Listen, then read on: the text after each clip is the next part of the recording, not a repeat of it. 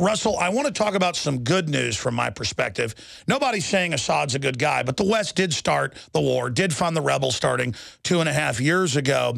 And for the first time, uh, since 1782, when the British Parliament voted to end the war against the colonies, they voted down uh, the Prime Minister in the UK, David Cameron, wanting to go to war. Uh, Obama, he has a 9% approval rating on this war in a Reuters Washington Post poll. I mean, when Bush did all these lies, he had a 72. Now it's very unpopular. I see this as a sea change where libertarians, conservatives, uh, liberals, Everybody I know sees through this and knows that it's about the takeover of the Middle East that Wesley Clark uh, exposed, the seven nations they wanted to target. What is your view on Syria, and uh, are you optimistic uh, and, and excited that uh, the UK Parliament, for the first time in 200 years, did the right thing on war?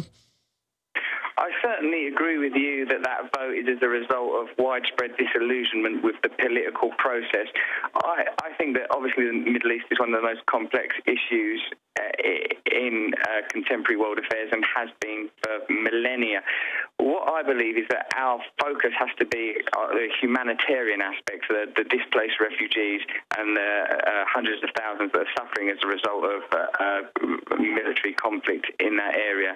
what I also believe, Alex, is that these affairs are conducted behind a, a, veil of disingenuity and duplicity. It's very difficult for any of us to understand what's truly happening. I've not read that book you said, that Seven Nations thing, but you know, essentially, my experience tells me that you know whatever they are telling me, I intuitively don't trust. It's typically about the interests of big business and government and how they align with one another.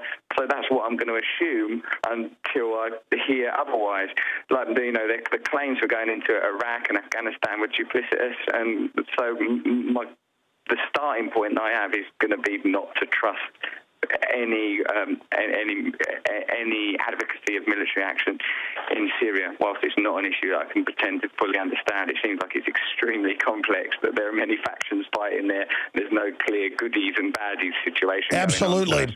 Ron Paul recently came out and said he basically thinks it's a false flag. There's evidence that the Al Qaeda groups staged the chemical attack, but uh, it is obviously an incredibly complex situation.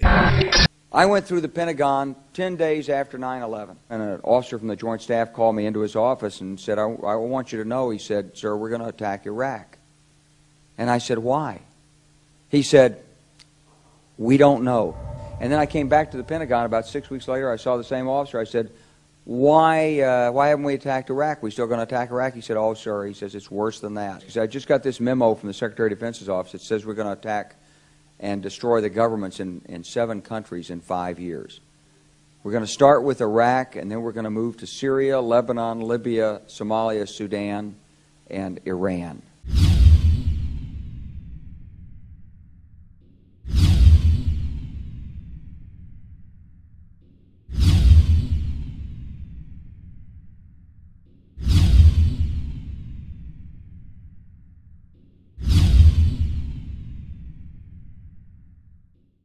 Yes, these men and their hypnotized followers call this a new order. It is not new, and it is not order.